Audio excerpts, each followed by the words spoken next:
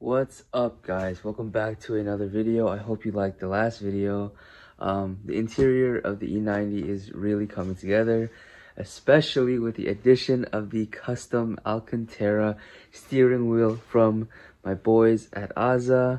Um, they're killing it in the game right now. They not only do they make stuff for BMWs, but um, they do uh, Euros, Euro cars, and I believe they just branched out to domestic and JDM. So if you have a project car or something you just want to spice up the interior with, you should uh, hit them up on Instagram and they can make you any type of custom design that you desire or just order one that's listed on their Instagram page. I'll link everything down below in the bio. But anyways, I'm not going to be working on the E90 today because we're to be working on my dad's car slash my daily for now. Um, I got something in the works. Just okay. Anyways, let me show you what I got. Uh, what I have for today. So the main event, I bought a uh what is it called a head unit for my car because well my dad's car because this thing it feels like i'm driving in a coffin it's it's just very old dated. We are in 2021 this car was built 20 years ago. I just want to make it feel up to the times. So what i did was i got a double din touchscreen head unit that is carplay compatible. And it also has their own Android system, which is good, meaning that say I don't want to use CarPlay, I can just connect to Bluetooth and use the system that they have, which is nice. But the reason that I got this particular one is because this is a new model that just released and they have wireless CarPlay. So normally you can get these uh, head units for much cheaper than I bought it for because uh, the CarPlay compatibility they have is the normal one where you just plug in your charger and then your phone um, immediately connects to the head unit. However, this one is wireless, which means once you connect to Bluetooth and if you have an iPhone and allow it to display CarPlay, it will just do it automatically. So whenever you hop in and out of the car and then you turn it on, Bluetooth connected, CarPlay is now connected once you turn on the car. And that is why I bought this one and I spent a little more than I should have, but it's okay, it's an investment. So this is a, um, it's a, it's a trim kit for my radio so it looks uh, OEM and flush. It basically has a new trim that fits this head unit, not the previous one. I'm going to get started with taking off the trim inside the car. So as you guys can see, this is the old disgusting radio. There's also another reason I did this. So these LEDs are dead and you can't even see what station you're on. So what we had before was we had a Bluetooth FM transmitter and I mean it was nice but like it, it's very annoying because it has this like cheesy intro sound whenever you pair your phone and it just doesn't feel OEM. And the all the reason I'm also doing this is because all these backlights are dead. So whenever I'm at whenever it's nighttime and I need to say put on the heat um what is it the rear defroster or etc it i always have to like either risk drive risk my driving or like turn on the lights and like lose focus and it's just, it's annoying. So I also bought bulbs for that to replace. So I'm just to put this in time lapse and do the ting. So uh, I'm to set you guys down now.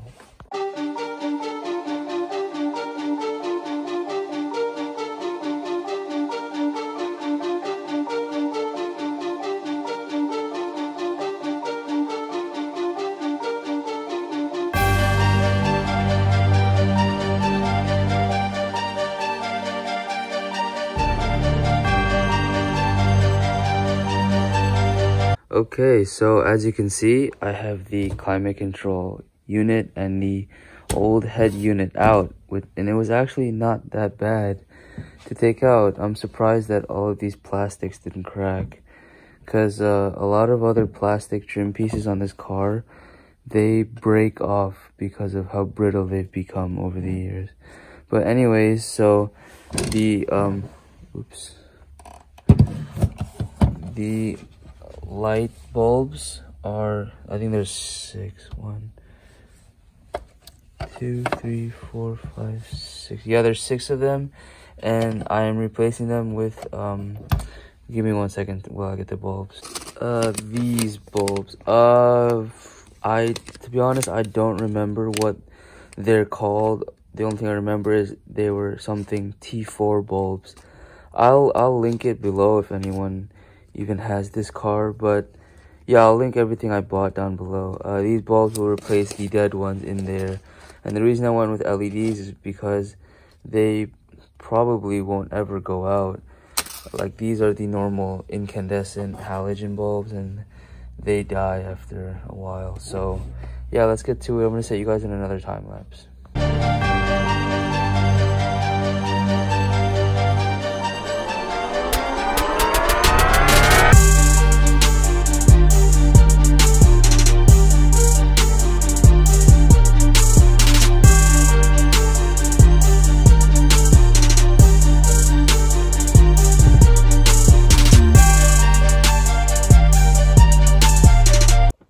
What's up, guys? So, it's 3 a.m.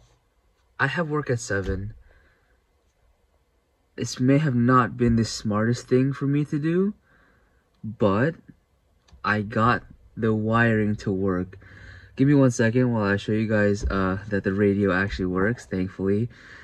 So, uh, you're supposed to solder the wires together when you're connecting uh, the two wires, but like, as I said, it's 3 a.m. I didn't really want to.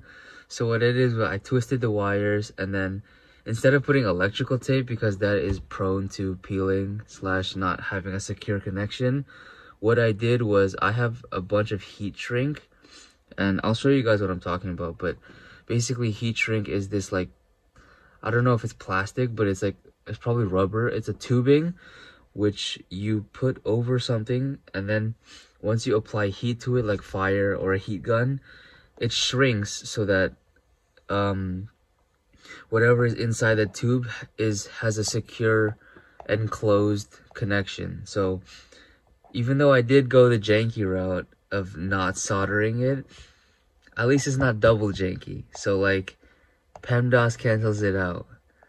So I have secure connection, alright? I don't even care about this car, so like, why would I spend my time soldering? Anyways, I will show you guys the uh, head unit now. I'm just very excited that it actually turned on and the satellite radio works, because if not, then I would have probably... I don't even know. It's very late. I don't know what I'm going to do for tomorrow, but anyways, let me get to it. So, uh, like I said, so you see this blue tube. Sorry, my hands are dirty, but this is a heat shrink. So I put it over right before I twisted the wires and then I put a flame under it so that it would shrink. And all the wires that I had had to connect to the harness, I had to, I put heat shrink over all of them just to make sure the connection was secure. So let me show you guys the uh, head unit now. So as you can see, car's on. Oh man, your boy can be an electrical engineer.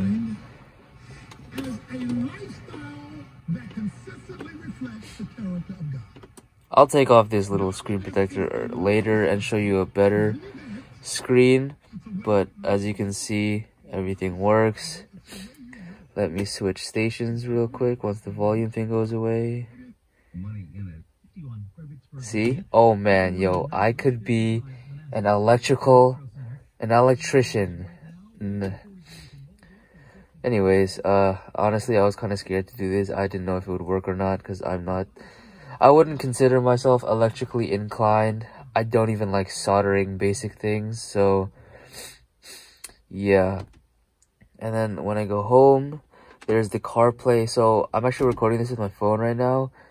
So let me try to get the CarPlay to work.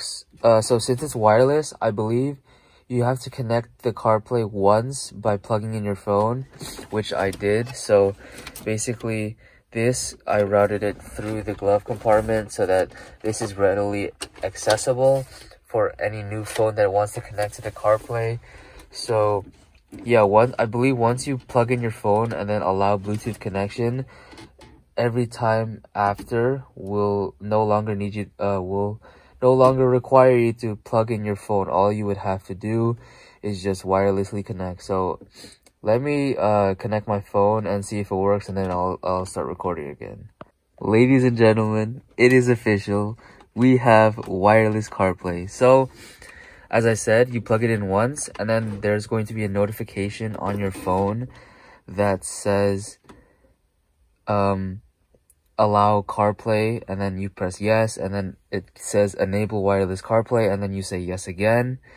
And then for it to work afterwards, I think you press CarPlay on the actual thing, and then it'll send a notification to your phone and then it'll say loading and the CarPlay screen will go from gray to green then you can click it and then everything works. So oh my this is lovely. This is amazing. Wow. Okay i'm having a very good start to my day. So key points to take away from this experience. Number one you can do whatever you want just gotta put in the work. Because this I, I i honestly don't like wiring and like dealing with stuff like this because this is honestly this is the first time i've ever done anything close to this uh when i had my e30 my dad got me an aftermarket radio but there were no harnesses at the time so i was just like eh, i don't really want to tackle making my own or like connecting the wires it was still very new to it uh Number two, you should not follow what I did. You should actually test that it works before like putting heat shrink tubing on it. Like I twisted the wires and then immediately put heat shrink tubing, which uh, is not necessarily smart because in the event that it didn't work, I would have to figure out which connector is preventing it from not working. So double check your work before you uh, finish and put everything away. Uh, there's a guy at my work who who does that. Don't don't do that, guys. Uh, not good, especially for technology. Um, anyways, I'm just glad this worked out. Uh, it's very clean.